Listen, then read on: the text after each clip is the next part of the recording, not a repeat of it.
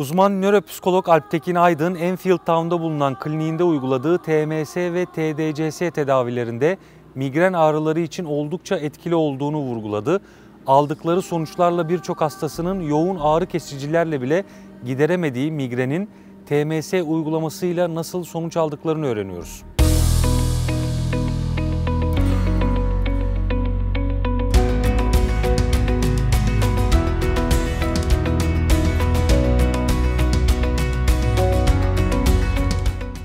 Uzman nöropsikolog Alptekin Aydın'la birlikteyiz efendim. Bu haftaki konumuz migren. Yeni bir tedavi olduğunu açıklayacak. Aslında birçok kişi için de umut veren bir açıklama olacak sanırım. Çünkü biliyoruz ki migreni tutan kişinin birkaç gün bu baş ağrısı geçmiyor değil mi hocam? Ee, bu umut olacak tedavi yine TMS ile mi yapılacak? Önce isterseniz migrenden başlayalım. Migren nedir? Migren maalesef ortalama her dünyada 7 kişinin birinde ortaya çıkan Ağırlıkla da kadınlarda iki kat daha fazla erkeklere göre görünen bir rahatsızlık. Genellikle başın bir tarafından böyle zonklayıcı bir ağrı şeklinde başlıyor. Ama tabii bu bir saat içerisinde kötüleşiyor. Yani migrenle baş ağrısını ayırt etmek oldukça kolay. Çünkü hani baş ağrısı sonuçta sizin normal bir ağrı kesiciyle bile kurtulabileceğiniz düzeyde ve çok uzun devam etmeyen bir şiddette. Ama migrende iş, iş o kadar kötü ki sizin etrafta duyduğunuz kokulara karşı hassasiyetinizden tutun da burun akıntısına veya ne bileyim görüşte bulanıklığa, kafa karışıklığına, herhangi bir şekilde mut değişikliğine hani bipolar gibi bir depresyona böyle daha iyi bir duruma geçişe, girişe, çıkışa ne bileyim işte sese karşı, ışığa karşı olan hassasiyet, ellerde ayaklarda uyuşma hani böyle çok fazla semptom hani anksiyetedeki gibi arka arkaya sayabileceğiniz pek çok semptomun birleşiminden de oluşabiliyor genellikle 3-4 saatte 72 saate kadar sürebiliyor etkiler. Yani hani migren insanların uzun yıllardır mücadele ettiği, uzun yıllardır çekmek zorunda yaşadığı gerçekten sıkıntılı bir rahatsızlık. Evet. Şimdi bu rahatsızlığa da çözüm yolu olarak TMS mi imdadımıza yetişecek? TMS bildiğiniz gibi 2008 yılından beri dünyaca onaylanmış bir tedavi. TMS'de nörolojik olarak siz nöronlara atış yapıyorsunuz böyle noktasal atış yapılan bir tedavi. Şu anda migren için TMS cihazı kullanılarak yapılan ama başlığı tamamen farklı ve aslında nöronlara atış yapmayıp boyundan yukarıya doğru tüm kafanın üzerinde akımsal olarak dolaştırıldığı yeni bir tedavi çıktı. Bu tedavi uzun araştırmalar sonucunda çıktı ve şu anda FDA tarafından da tavsiye ediliyor. Sanıyorum onayda ya alacaklar ya aldılar. Bugün bakıyordum yoğunluktan tekrar bakmayı unuttum. Yani şu anda bu tedavi TMS ile yapılıyor ama bizim TMS'de RTMS diye geçen Repetitive Transcranial Magnetic Stimulation olarak hani tekrarlayan stimülasyon olarak yapılan tedavi değil. TMS tedavisinde başlık tamamen farklı. Daha farklı bir frekansta çalışıyor ve başlığı başlığı kullanan praktisyen hiçbir yerde sabit tutmuyor. Başlık boyundan yukarıya doğru sürekli başın üzerinde migrenin yoğun olduğu alanlarda. Çünkü migren nörolojik kökenli, nörondan kaynaklı bir rahatsızlık değil. Migrende daha fazla damar yollarıyla alakalı problemler, damar sıkılmasından kaynaklanıyor. Dolayısıyla onlar zaten buradan yola çıkarak bu başlığı üretmişler. Yani teorideki düşündükleri şey gerçeğe yansımış, çözümünü bulmuşlar binlere yakında tedavi var yapılmış şu anda. Burada hatta normalde 30 seans yapılan tedavi biraz daha da az bile yapılabiliyor 20'lerde ve aldığınız sonuç muhteşem. Çünkü beyinde migreni yaratan bu geçen damarlarla alakalı sıkışmalarda hem bu boyun tarafı zaten işte migrenlilerde baş ağrısı bir tarafla beraber boyuna falan da ağrılar vuruyor. Buradaki bu boyundan yukarıya doğru olan bütün bölgedeki damarlara gelen bir etki bu. Böyle tek bir yerde durup da manyetik akımla tedaviyi yapmıyorsunuz. Beynin üstünde dolaşarak yapıyorsunuz. Bunun için ben ve ekibime özel bir eğitim aldırdım. E, bu başlıkları üreten, bu onayları alan firmanın kendisi tarafından bize bir eğitim verildi. Bu eğitimle beraber makinelerde bu tedaviyi yapacak şekilde güncellendi ve de bu tedavi için özel yeni bir başlık alındı. Evet. Sadece bu tedavi yapıyor. Şu anda kliniğimizdeki tek bir makinede var bu. Onu da yetişkinlerde olan bölüme aldım.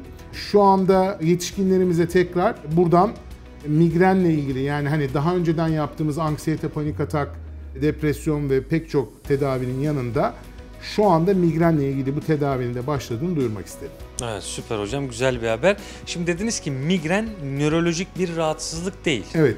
İşte biz her zaman TMS ile ilgili yaptığımız konuşmalarda da diyordunuz ki nöronlara magnetik Evet. sinyal göndererek o nöronların açılmasını sağlıyoruz. Peki şimdi nörolojik olmayan bu rahatsızlıkta TMS'nin tam olarak damarlara yaptığı şey nedir? Tabii nörolojik değil derken tedavi açısından diğer yaptığımız TMS gibi nörolojik değil anlamında. Hani nöronsal bazda bir nöronu açarak siz migreni iyileştiremezsiniz. Mesela bir konuşma problemini veya bir depresyonu oradaki bir nöron grubunu açarak iyileştirebiliyorsunuz. Bununla farklılık gösteriyor. Tabii ki bu da nörolojik o açıdan baktığımızda. Buradaki farklılıkta yapılan tedavi sürekli başlığın beynin etrafında problemin üzerinde gezip orada e, nöronlara akım sağlayan damarların açılmasını sağlıyor. Bununla ilgili bir takım grafikler ve bilgiler istedim. Bunları belki biz paylaşırken de yayınlarsanız bize ulaştığı zaman çok daha insanlar için anlayıcı olur. Tabii. Burada önemli olan o geçen, gezen, akımın gezdiği yerlerde verilen akım şiddeti çok önemli. Özel bir akım şiddeti bulmuşlar. Bu bizim şimdiye kadar kullanmadığımız bir miktar. Yani bizim normal TMS onaylarında veya TMS tedavisinde kullandığımız bir akım boyutu değil bu. Başka bir boyut. Bu boyutun da bizim için tedavide şu anda iki tane önceliğimiz olarak olacak. Birincisi aslında bu hastalar için QEG değil ama en azından bir EEG çekilip herhangi bir epileptik dalganın olup olmadığının bulunması lazım. Dolayısıyla QEG çekmesek bile hani QEG ile karşılaştırmalı büyük bir rapor hazırlamasak bile bir ön EEG çekip haritanın sadece epileptik durumu var mı yok mu ona bakmamız lazım. Dolayısıyla migren için gelen hastalarımızdan ilk isteğimiz bir EEG olacak. Onu burada çekebiliyoruz zaten. EEG'de de tek bakacağımız hani fonksiyonların detaylı raporundan ziyade epileptik bir durum var mı yok mu beyinde? Epileptik bir durum varsa çünkü ona göre ayrı bir önlem alacağız o bölgeye. Epileptik bir durum yoksa zaten direkt var olan bize gösterilmiş ve e, uygulanması gereken e, migren tedavisini uygulayacağız. Bir de bununla beraber burada NHS'in önerdiği ağrıları ölçen bir değerlendirme sistemi var. Bu sistemi de uygulayacağız. Yani hasta buraya geldiğinde EEG'si çekilirken ona bir değerlendirme assessment yapılacak. Bu assessment'ta da bizim sorduğumuz sorulara işte 1 ile 10 arası değerlerde ağrısıyla ve yaşadığı problemlerle ilgili o değerlendirmeyi de dolduracağız. Çünkü bunun sebebi tedavi bittikten sonraki bekleme sürecinden sonra aynı değerlendirmeyi tekrar yapıp karşılaştırma yapmamız. Dolayısıyla bu değerlendirme zaten e, migren için ve ağrılar için e, hani standart bir değerlendirme ve yapılması gerekiyor ki siz bilimsel olarak da kanıtlayabilin olan durumu. Dolayısıyla biz EEG çekeceğiz, değerlendirmeyi yapacağız, ondan sonra tedavimizi yapacağız ve bekleyeceğiz.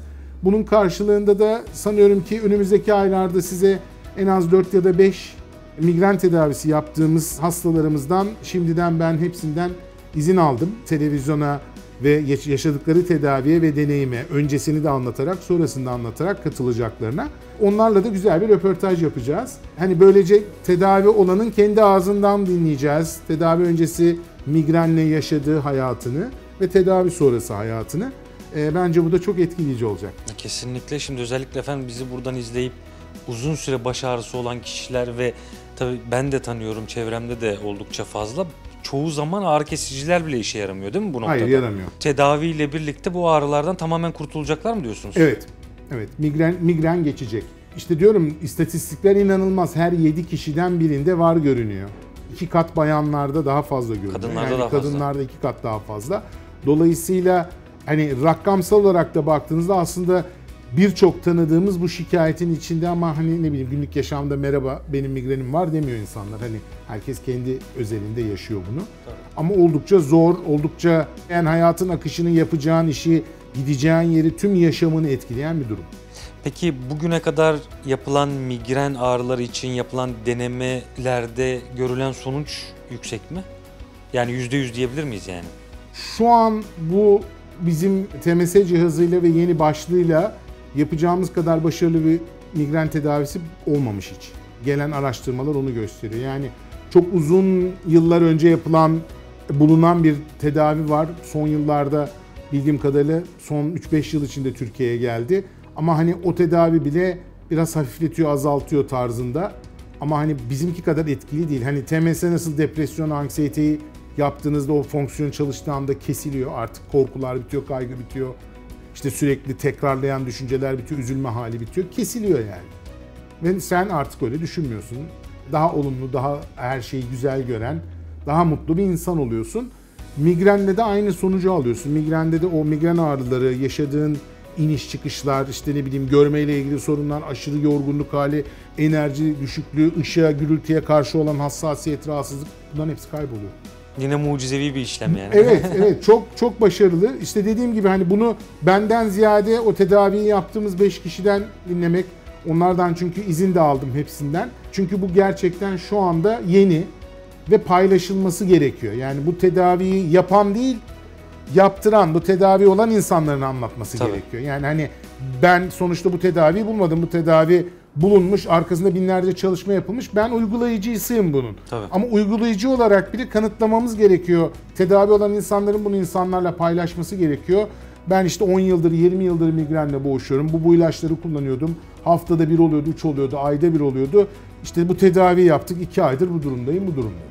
Yani onlardan dinlememiz hepimiz açısından çok daha güzel olacağını düşünüyorum. O yüzden bu 5 kişi özel olarak konuştum ve onların katılımın içinde olma, hem sosyal medyada hem televizyonda bunu paylaşmakta bir sakınca görmediklerini, konuşacaklarını söylediler. Onlar da tedavi sonuçlarını bekliyorlar ve tedavilerine devam ediyorlar. Hocam çok çok teşekkür ederiz. Yine bize güzel haberler verdiniz bugün. Umarız bizi izleyip bu rahatsızlıkla uzun zamandır mücadele eden kişiler de Alptekin Hoca'ya ulaşırlarsa onları da burada bu tedavinin sonrasında yine tabii ki düşüncelerini tedavinin sonrasında ne gibi bir iyileşme olduğunu da kendilerine sorup öğrenmek isteriz. Çok teşekkür ederiz hocam. Ben teşekkür ederim.